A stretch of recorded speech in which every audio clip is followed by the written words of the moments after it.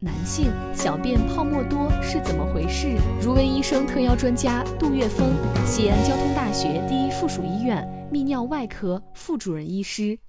那个旺旺，如果你那个尿尿的时候，一泡尿憋得特别急，你冲刷的特别快的时候，你会发现你的泡沫多，这是正常现象，大家不用过于那个那个焦虑。但是如果你是正常排尿的情况下，如果出现了这个尿里面泡沫多，可能有如下的三个原因。第一个原因是来讲的话，你可能感染了，你的尿里面有产气的杆菌，产生的气泡多，那么容易造成那个就是这个泡沫尿，这是第一点。第二点来讲的话，如果你有糖尿病，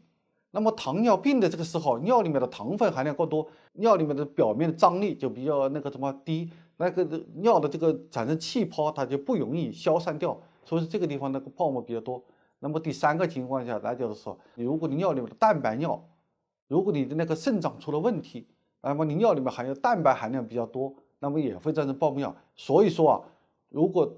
患者朋友们遇遇到了这个泡沫尿的这个情况下来讲的话，最好是先去做一个尿检。